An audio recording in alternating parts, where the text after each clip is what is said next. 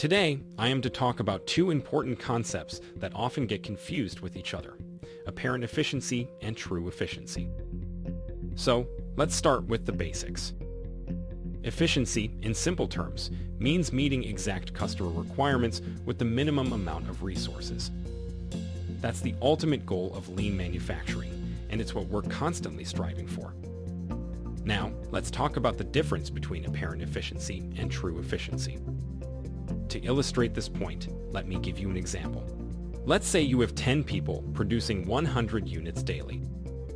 If improvements to the process boost output to 120 units daily, there is an apparent 20% gain in efficiency. But this is true only if demand also increases by 20%. If demand remains stable at 100, the only way to increase the efficiency of the process is to figure out how to produce the same number of units with less effort and capital. In other words, apparent efficiency is based on the output of the system, while true efficiency takes into account the input as well. So, in order to truly increase efficiency, we need to focus on reducing waste, increasing productivity, and improving quality, rather than just increasing output. Another important concept in lean manufacturing is the difference between total efficiency and local efficiency.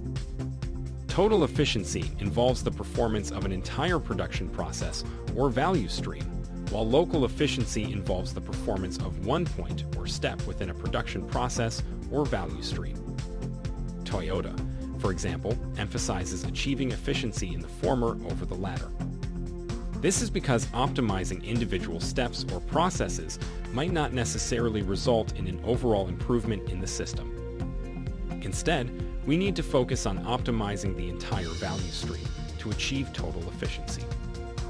So, that's it for today's lesson on efficiency in lean manufacturing. Remember, true efficiency is achieved by meeting customer requirements with the minimum amount of resources, and it's important to focus on total efficiency rather than local efficiency.